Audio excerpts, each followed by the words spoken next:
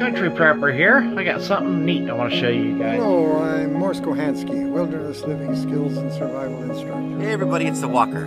So what are we doing tonight? Well, tonight is Christmas Eve.